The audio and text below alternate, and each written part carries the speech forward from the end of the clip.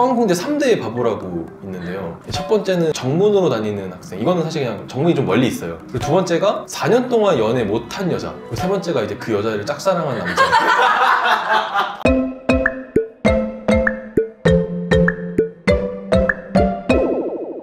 세상의 모든 매력적인 사람들을 만나는 게 목표였지만 제 지인 자랑하는 시간 지인터뷰 오늘은 공돌이 용달님 모셨습니다 아, 반갑습니다. 유튜버 공돌이 용달입니다.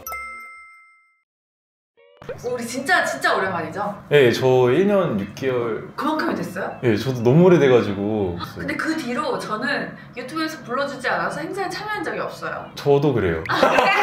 근데 영상을 안 올리고 있잖아요 60만 잘 찍고 왜 영상을 안 올리고 있어요?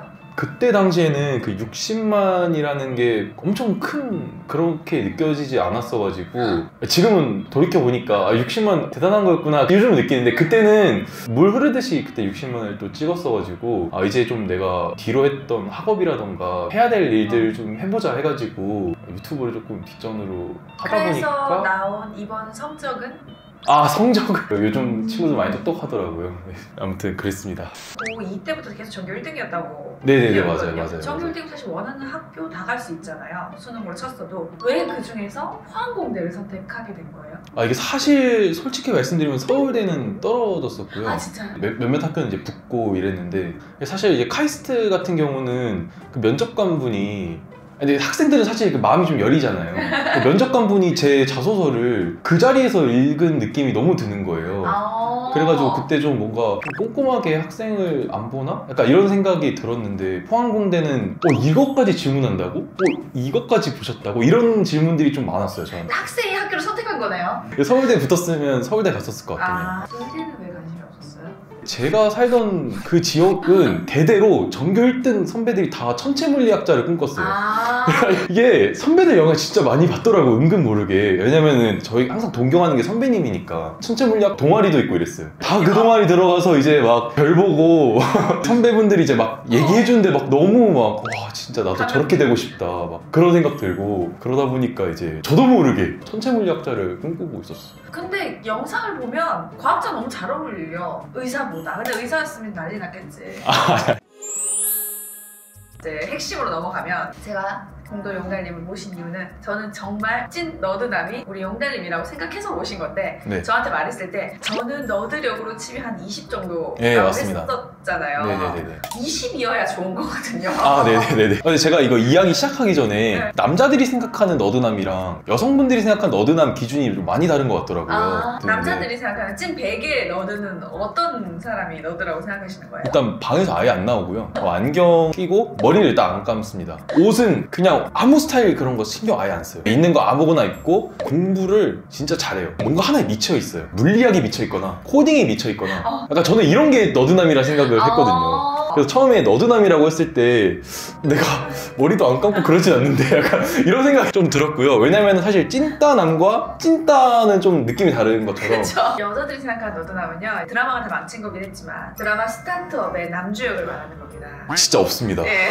일단 안경 끼고 있는 거 맞아. 체크 셔츠를 입고 있어 늘. 머리는 잘 감지만 수동은 해야 돼. 피부는 좋아야 돼. 갑자기 안경을 보시면 어머 이게 이렇게 잘생겼었나? 아... 이런 친구가 공부는 잘하는 거 똑같아요. 꾸미지 않을 뿐. 이게 찐따는 아니야. 찐따처럼 보일 뿐. 늘 남자들끼리 있죠. 주변에 여자 하나도 없고. 음. 뭐 여자가 말 걸면 되게 감성적으로 받아치지 못하고 여자를 꼬실 줄은 몰라. 아 일단 제가 공대 꽤 오래 다녔는데 한 명도 못 본 것 같고요 그런 사람이 약간 환상의 존재가 아닌가 물론 다른 학교는 있을 수도 있어요 근데 저희 학교에서는 없는 걸로. 너드남을 꼬시려면 어떻게 해야 되나요? 너는 20에서 40 사이. 제가 조금 이성적으로 생각을 해봤을 때는 보통 이제 공대생들이 많잖아요. 놓여있는 환경 자체가 아무래도 여자가 좀 소수고 남자가 많이 있는 환경이잖아요. 그렇다 보면 사실 여성분들이 되게 수동적일 수밖에 없거든요. 가만히 있어도 남성들한테 엄청 대시가. 많이 오잖아요. 그 공대 무리에 있는 남성분들은 사실 연애를 하려면은 대시를 많이 해야 되는 피로감을 좀 느껴요. 아, 네 다섯 명과 경쟁해야 되는 그 스트레스, 부담감 이런 게 있기 때문에 사실 포기를 하는 친구들도 많고 능동적인 여자를 만날 기회가 거의 없어요. 없어요. 여자가 먼저 다가가는 그 적극적인 여자들 있잖아요. 음. 그러다 보니까 적극적인 여자를 만나면은 되게 좋아요. 저뿐만 아니라 되게 많은 친구들이 공감하는 건데 그래서 좀 적극적으로 먼저 다가가면은 아마 한 음. 80%는 넘어오지 않을까. 근데 안 넘어간 20%의 이유는 뭐예요? 이미 적극적인 여자를 한번 만나봤던 사실 공대 무리에서 벗어나는 순간부터는 이제 좀 취향 타는 거죠. 공대 무리에 속해 있는 친구들이라면은 취향 상관없이 꼬실 수 있다. 네. 연애를 못하는 여성분들은 포항으로 가셔야 되겠네요. 아 저희는 진짜 좀 기회의 장이에요. 사실 장거리만 좀 감당할 수 있으면은 완전 열려 있어요. 대전도 비슷하겠구나. 근데 카이스트 솔직히 서울이랑 좀 가깝지 않습니까? 아. 저는 카이스트는 좀 다른 거리라고 봅니다. 개인적으로. 그 hell과 normal의 중간 정도? Hard? 약간 이 정도? 저희는 진짜 hell입니다, hell. 주변에 모쏠 많아요 혹시? 모쏠은 별로 없는 것 같아요. 아, 있나? 근데 얘네들이 그 솔로 기간이 좀 길어질수록 말을 안 하는 것 같기도 한데 좀 숨기는 친구들이 있을 수도 있어요. 근데 대부분 그래도 연애를 합니다. 그리고 특히 졸업하고 나서는 연애 되게 잘해요. 스타일도 많이 달라지고요. 좀 신기해요.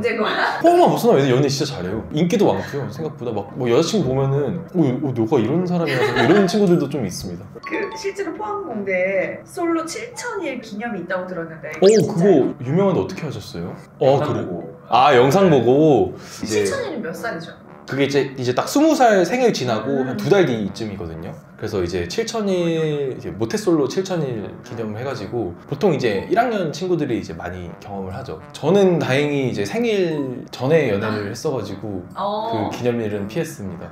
아, 실제로 학교에서 기념일 행사 같은 거 해주는 거 아니죠? 아, 항상 학교에서는 해주지 않는데요. 친구들끼리 이제 술 많이 마시거든요. 아, 자 이렇게 놀리는 네. 뭐 그런 식으로 이제. 솔로 만일 되면 혹시 마법 쓸 수 있어요? 근데 저 만일을 못 봤어요. 9천일은 봤거든요. 8천일부터 현수막이 걸려요.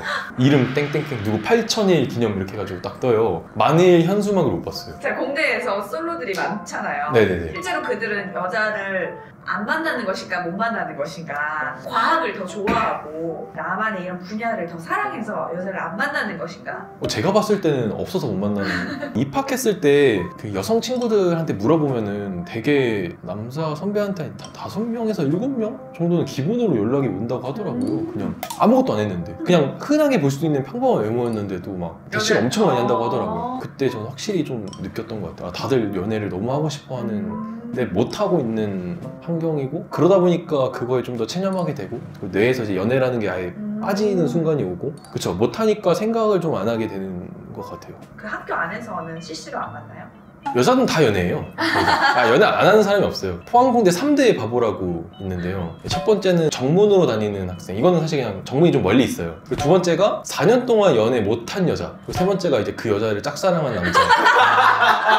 어 그러면 어쨌든 매년 60명은 연애하고 있다는 거네 근데 그 연애를 하려면 노력을 많이 해야 되는 게 이제 스트레스인 거죠. 에이 300명 중 60명 안에 드는 노력 정도는 해야지 공부하는 거에 10분의 1만 해도 돼요 아, 저- 저희는 최선을 다해요, 친구들이. 과제 같은 거 막 기출 같은 거 다 주면서 막 그런 선배도 있고요. 특히 그게 있어요. 경쟁이 왜 빡세냐면은 저희 학교 학생들 보면은 은근히 좀 잘생기고 훈훈한 친구들이 꽤 있어요. 그런 선배들이 이제 후배들 챙겨주기 시작하면은 음. 경쟁에서 이길 수가 거의 없죠. 다그 선배들도 어쨌든 한 명밖에 못 사귀잖아요 신입생이 들어왔어요. 그러면 60명이잖아요. 단순히 5대1로 계산하면 안 돼요, 경쟁을. 그 윗선배들, 또 그 윈윗 선배들, 또 그 윈윈윗 선배들 합치면은 한 진짜 체감상 20대1 정도 되거든요. 이길 수가 없습니다, 그분들. 그 선배들도 60을 또 빼버리면은 240명이 남잖아요. 그게 계속 더해지는 거예요. 경쟁이 엄청 치열 해요. 그 포항공대에서 연애하려면 어떻게 해야 돼요?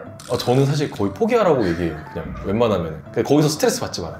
너는 충분히 서울 나가면 사랑받을 수 있는 사람이다. 어 그러니까 여기서 스트레스 받고 마음 아파하지 말고 자연스럽게 연이 되면 사귀고 음. 그게 아니면 굳이 노력하지 말라고 얘기를 하고 싶어요. 용달님은 최종적으로 뭐 하고 싶어요? 아 저는 그게 있어요. 그 정해진 길은 좀 재미가 없다. 그래서 제가 걸어갈 길은 아무래도 남들이 걷지 않았던 길이기 때문에 좀이 길이 맞나 저 길이 맞나 고민도 많이 하고 음.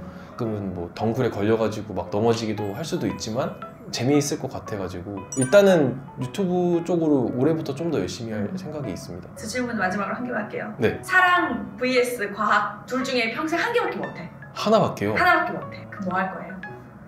아, 과학은 정말 이 세상의 호기심을 해결하는 아주 탁월한 도구이기 때문에 과학으로 사랑을 못 삽니까? 못 삽니다. 사랑하겠습니다. 사랑이 맞는 것 같아요. 아, 근데 이게 정말 고민을 많이 해야 될 만큼 진짜 나의 삶의 가장 중요한 부분 중에 하나네요. 네, 저는 좀 그런 것 같습니다. 뭐 할 때 제일 행복해요? 좀 뭔가 새로운 사실을 알 때 행복한 것 같아요. 제가 좀 모르는 분야 책 읽을 때도 너무 재밌고 그 여행 가가지고 새로운 환경에 놓였을 때 이럴 때도 되게 좀 흥분되는 것 같아요. 아 제 꿈이 남극 가는 거예요. 제 최종 꿈은 남극 가가지고 한 일주일 이상 생활해보는 게 아주 옛날부터 말했던 꿈이긴 해요. 남극 가기 힘들어요. 네. 엄청? 힘들어요. 남극은 일단 남극 조약이라고 개인이 갈 수가 없고요. 가더라도 이제 국가 허가가 있어야 돼요. 근데 제가 북극은 또 극지연구소 지원받고 그러니까. 가긴 했으니까 또 잘 해봐가지고 나중에 한번 노려봐야죠. 돈도 엄청 많이 들고요. 제가 알아봤 던 것 중에서 하나가 이제 남극에서 남극점까지 스키 타고 이렇게 가는 투어가 있어요. 근데 그게 한 8천만 원인가? 와 그 정도 하더라고요. 근데 이제 생각해보는 거죠.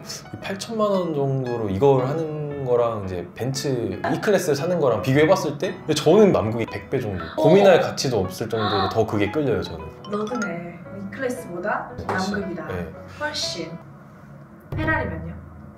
페라리요?